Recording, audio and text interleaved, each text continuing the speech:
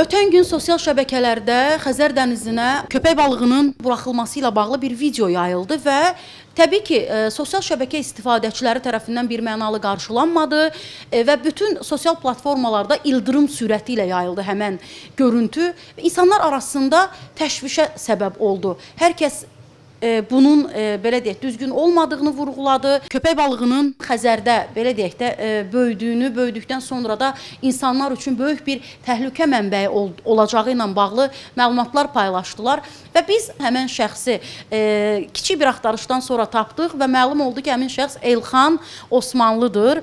E, Elxan bəy e, və e, kadr arxası söhbətimizdə belə bir ifadə işlətdi ki, bu görüntü ötən gün çəkilməyib. Böyük akvarium idi. Artıq balıq orada ə, üzürdü və sığışmırdı. Mən də istəmədim balığı hansısa bir öldürüm və yaxud da nəsə bir şey eləyim. O, o baxımdan ə, fikirləşdim ki, dəniz suyu ilə biraz uyğunlaşdırıb buraxım dənizdə qalsın. Bu hadisə keçən olub.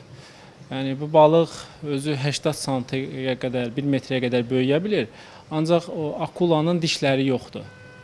Yəni Amma sonradan çıxma ehtimalı var dişləri. Heç bir yox, ümumiyyətlə o balığın e, dişləri çıxma ehtimalı yoxdur. Son balığı gedir.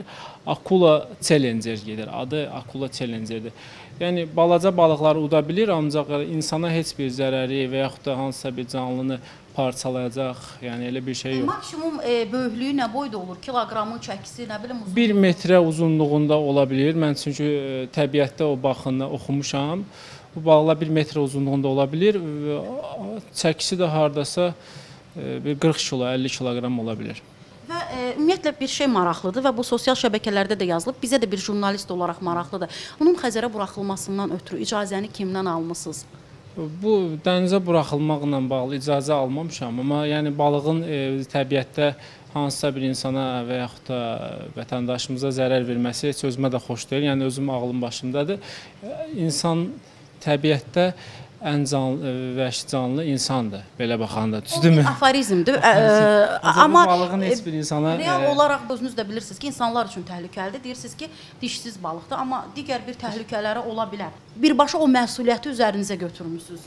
İnsanların Bəli, mən onu buraxmışam dənizə. O cavabdehliyi də məndədir. Yəni insanlar iki ayaqlı akulalardan gözlərini qorusunlar. Yəni bu balığın insana heç bir zərəri yoxdur. Bəlkə də artıq həyatda deyil, yəni bilmirəm, üzür də dənizdə yoxsa yox. Yəni bu yəni böyüsə belə 80 sm-da, 1 metr də olsa heç bir insana gəlib hücum etmək gücündə deyil, yəni. Elxan Osmanlı sözgedən balıqları pandemiyadan əvvəl Malayziyadan satış məqsədi ilə gətirdiyini deyir. Məsələ ilə bağlı Ekologiya və Təbii Sərvətlər Nazirliyi ilə əlaqə saxladıq. Məlum video ilə bağlı araşdırmalara başlanıldığını, nəticəsi barədə ictimaiyyəti məlumatlandıracaqlarını bildirdilər. Aytən Sakit qızı Fariz Quliyev, APA TV.